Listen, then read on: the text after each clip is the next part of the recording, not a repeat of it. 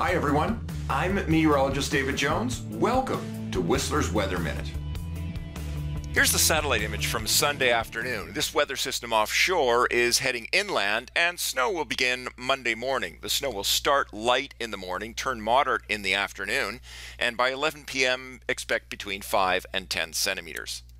The temperature in the Alpines starting out on Monday morning at about minus 4, just rising to minus 3 in the afternoon. And it will be windy with southeast winds at 25 gusting to 40 kilometers per hour, with some gusts to 70 at the peaks. For the rest of the week, after Monday's snowfall ends early Tuesday morning, there's not much weather expected through next weekend. The freezing level at about 1,000 meters will rise to 2,500 on Thursday and then 3,000 late Saturday. Thanks for watching. Stay tuned and tune in again tomorrow afternoon.